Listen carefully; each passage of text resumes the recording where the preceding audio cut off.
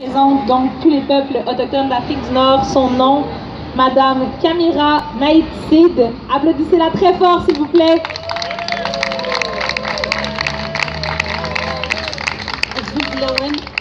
Euh, je vous salue toutes.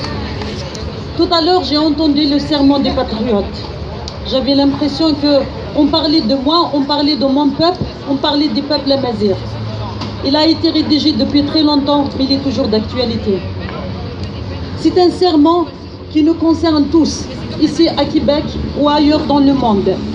C'est un message de paix pour l'humanité. Et je crois que nous devons tous s'inspirer de ce serment et le porter très haut parce que c'est notre serment aussi en Afrique du Nord et pour tous les peuples autochtones du monde, comme c'est votre serment aussi à Québec. L'Afrique du Nord, qu'aujourd'hui tout le monde considère c'est des pays arabes. L'Afrique du Nord n'a jamais été arabe. Nous sommes colonisés par les Arabes.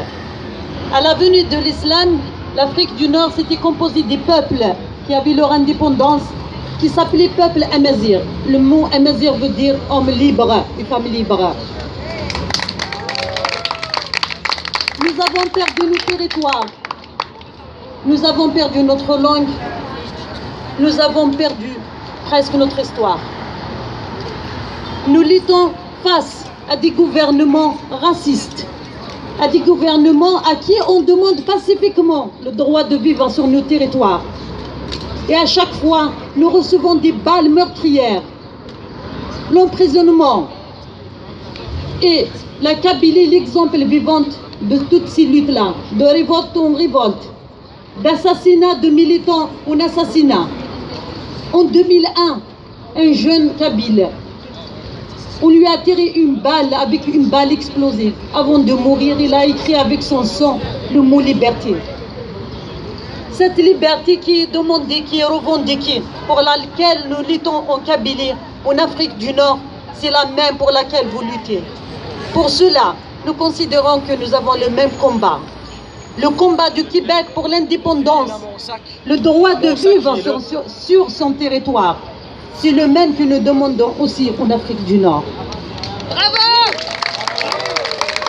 On se demande souvent pourquoi il y a quelques-uns, il y a des peuples qui ont le droit de vivre librement sur leur territoire. Et nous, on n'a pas ce droit. Qui a le droit de nous interdire de vivre sur nos territoires, de vivre pleinement en pleine liberté, de parler une langue, de parler de notre histoire et de tout simplement être ensemble sur la terre que nous avons héritée et pour laquelle beaucoup de, personnes sont, sont mortes. Je porte le message de la Kabylie parce que pour nous, le Québec, c'est très important. Nous avons toujours suivi de près ce qui se passe ici.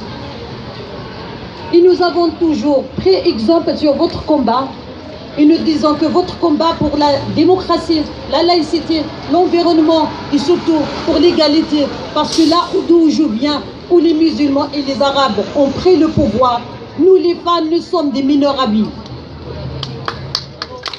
Et alors que dans l'histoire des Amazirs, la femme a été toujours des reines, ils étaient toujours les leaders. Et aujourd'hui, nous sommes réduites à des mineurs à vie. Le combat des femmes québécoises, c'est un exemple pour nous, les femmes de Kabylie. Et je salue les femmes québécoises qui nous ont donné le courage et la force de continuer notre combat pour l'égalité. Et je termine pour vous dire que notre devise, autant qu'Amazir, autant que Kabyle, on fait souvent pas, on vit victoire, mais on fait trois. Les trois, le premier c'est la terre, le deux c'est la langue, le trois c'est l'homme. C'est notre territoire, c'est notre nation et le droit de vivre librement. Vive le Québec libre indépendant. Vive la Kabylie libre indépendante. Vive tous les peuples qui luttent pour leur liberté. Et vive l'humanité tout entière. Je vous remercie.